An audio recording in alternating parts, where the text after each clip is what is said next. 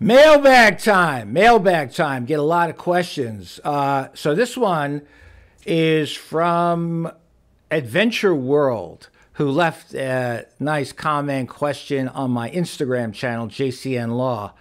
Uh, and he writes Hi, Jonathan. Love your insight. Just curious. You say a man can prevent from getting in trouble during divorce if he does a proper prenup. What about alimony? I'm assuming the man in the prenup can put if there is a divorce, he'll put in, he can give her a certain percentage of his income. Uh, is that true? What about child support? Now, I paraphrased a little bit what he wrote uh, to try for clarity reasons, actually. So let me preface the answer with it depends. It really depends upon your jurisdiction when you're talking prenup law. The laws vary so widely from jurisdiction to jurisdiction. You could be in a place like uh, Ohio and then across the border into Kentucky or Pennsylvania, across the bridge, the Ben Franklin or Walt Whitman Bridge into New Jersey, or the Tacony Palmyra Bridge into New Jersey. And the law, prenup laws will change. So here is some food for thought.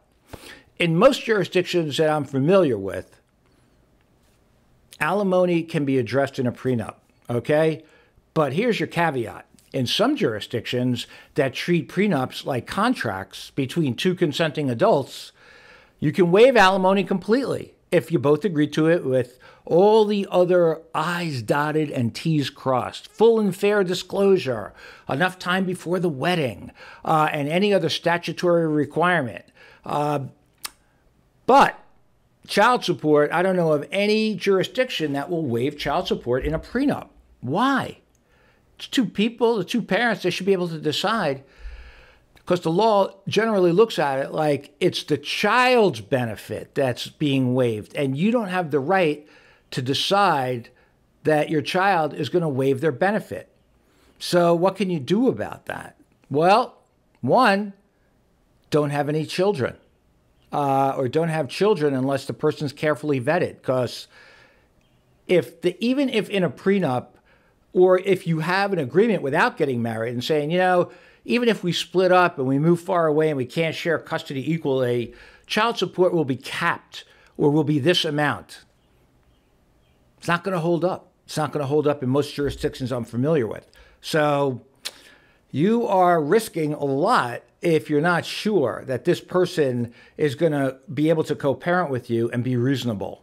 There's no other way to say it. I wish there was. Uh, but alimony, usually yes. In some jurisdictions, though, beware because they have very strict prenup guidance and prenup statutes. And in other jurisdictions, uh, the prenup has to be fair and reasonable at inception when you sign it and cannot be unconscionable at exit, at divorce. Holy smokes, how the hell do you figure that out?